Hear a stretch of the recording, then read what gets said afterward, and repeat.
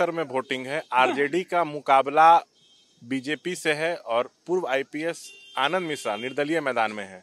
RJD प्रत्याशी सुधाकर सिंह हमारे साथ हैं। आरजेडी के वरिष्ठ नेता जगदानंद सिंह के पुत्र हैं। पूरे दमखम के साथ कैंपेन में लगे हुए हैं। सीधा हम बातचीत करेंगे। एक तारीख को वोटिंग है। इम्तिहान की घड़ी नज़दीक आ रही है। मुकाबला बीजेपी से है या जो निर्दलीय लड़ रहे हैं, आनंद मिश्रा उनसे।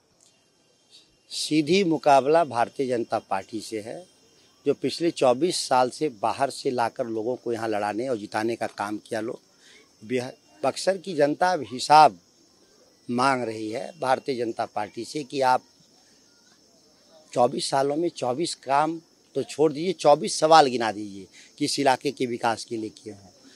तो ये लोग पिछड़ गए हैं अब केवल अब चुनावी जुमलों पे ज़िंदा हैं झूठ बोलने पर ज़िंदा है लोग। आनंद मिश्रा जो हैं पूर्व आईपीएस हैं बीआरएस लिए असम में पोस्टिंग थी बीजेपी से टिकट मिलना था लेकिन मिला नहीं। अब निर्दलीय मैदान में ताल ठोक रहे हैं। कहा यह जा रहा है कि वो बीजेपी का वोट काटेंगे और लाभ आपको हो जाएगा? देखिए भारतीय जनता पार्टी भारतीय राजनीति के नए अंग्रेज़ हैं। ये हमेशा से बाहरी लोगों को लाकर लड़ाने का लोग काम किए हैं। आनंद मिश्रा भी बाहरी हैं। इस लोकसभा के नहीं हैं, वो आरा लोकसभा के हैं। फिर भी एक भोजपुरी भाषा भाषी होने के नाते एक स्थानीय रूप से जुड़ाव ज़रूर है। लेकिन अभी तो ये लोग भागलपुर और गोपालगंज से ला के लड़ा रहे हैं, भारतीय जनता पार्टी के लोग। अब वो उनकी पार्टी का मसला है कि वो, उनका मतभिन्नताएँ रहीं, वो चुनाव लड़ रहे हैं निर्दलीय। स्वाभाविक है, लोकतंत्र में सबको लड़ने का अधिकार है, पढ़े लिखे लोग हैं, नौजवान हैं, बाकी जो होगा वो सब लोग को मालूम है क्या हो रहा है इस जिला में इस लोकसभा में।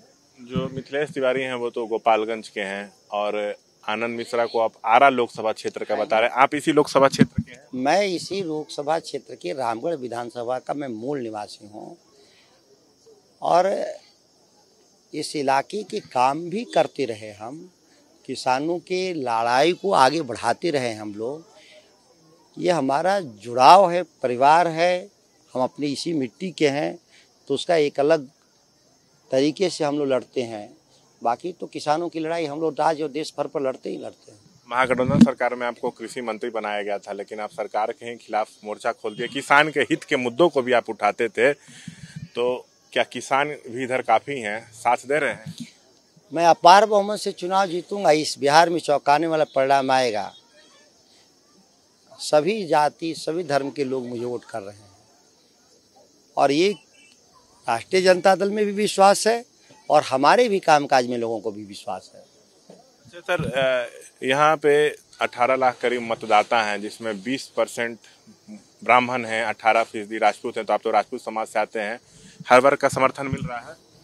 ये जातियों की लड़ाई नहीं है। बिहार में जातिवाद हावी रहता है। अब बिहार की बात मीडिया चैनल पे हो ये आश्चर्यजनक है। ये जमात की लड़ाई है। निन्यानवे परसेंट बनाम एक परसेंट की लड़ाई है। यहाँ अपने को गरीब और पिछड़ा कह करके देश में अडानी और अंबानी के हवाई जहाज़ से घूम करके भारतीय जनता पार्टी के नेता प्रचार अभियान में शामिल हैं नरेंद्र मोदी। अडानी के जहाज़ से आए थे प्रधानमंत्री बनने के बाद, सेना के विशेष विमान से नहीं आए थे। तो ये नकली लोग इस देश भर में और बिहार भर में घूम रहे हैं जातियों के आधार पर किसके कितने वोट हैं, इस कोई महत्व नहीं रखता। किसको कितने वोट मिलेगा ये महत्व रखता है। और यहाँ सभी समुदाय का सम्मान है, जिनकी आबादी आप दशमलव में है, उनका भी उतना ही अधिकार है जितना किसी का ज़्यादा होगा। कोई फ़र्क नहीं पड़ता, हर व्यक्ति के पास एक अपना वोट है और अपना वोट का ही वो निर्णय ले सकता है। आपके पिताजी यहाँ से सांसद रह चुके हैं, जगदानंद सिंह जी, लेकिन मिथिलेश तिवारी कह रहे हैं कि यहाँ पे प्रभाव आरजेडी का वैसा है नहीं, सो हम भारी मतों से जीतने जा रहे हैं।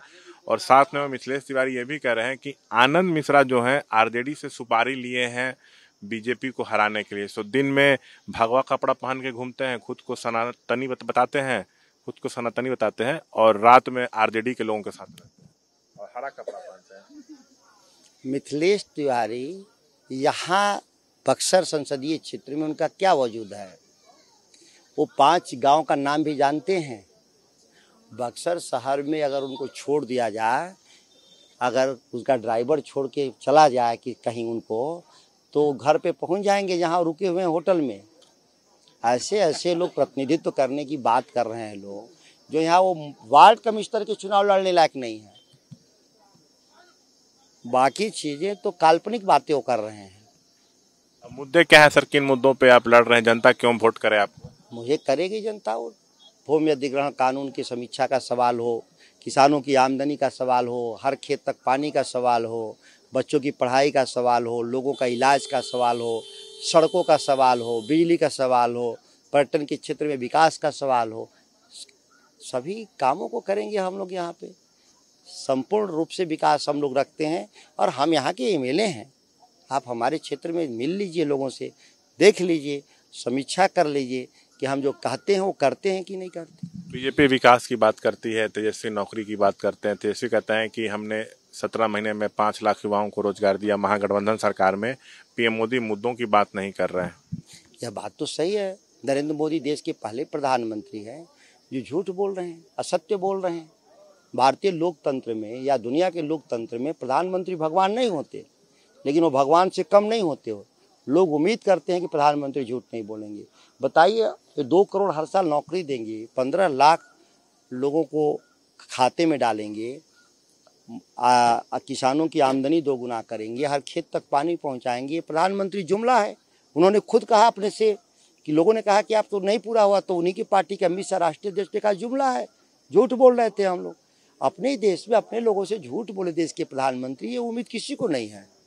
आखिरी सवाल क्या स्थिति बिहार में महागठबंधन की लग रही है आपको और शाहबाद के क्षेत्र में? पूरा शाहबाद मिला के पूरे बिहार में क्या स्थिति है? हम लोग बिहार में भारतीय जनता पार्टी एनडीए से ज़्यादा सीट जीतेंगे यह एकदम तय है। शुक्रिया। तो ये थे बातचीत करते हुए आरजेडी प्रत्याशी सुधाकर सिंह। कैमरा पर्सन विशाल राय के साथ शशांक कुमार एबीपी न्यूज़ बक्सर।